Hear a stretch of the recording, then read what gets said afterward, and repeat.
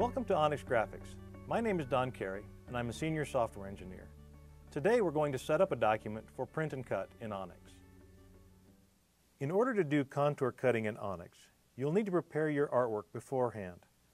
The artwork needs to be a vector file with cut paths defined.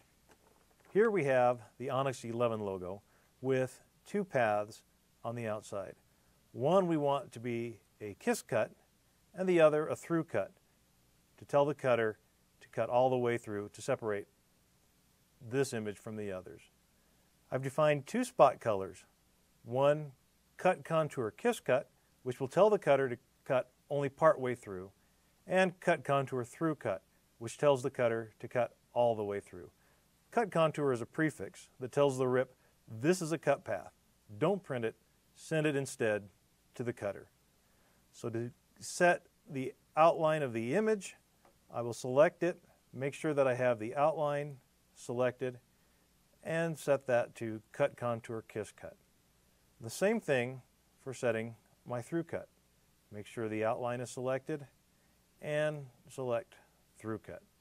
You can put all of your cut paths in their own layer if you like, but the RIP is looking for the spot color name on the path, not the layer. This concludes our video on setting up a document for print and cut in Onyx. Watch our video, The Onyx Print and Cut Workflow, to see how Onyx 11 can turn this artwork into a finished job.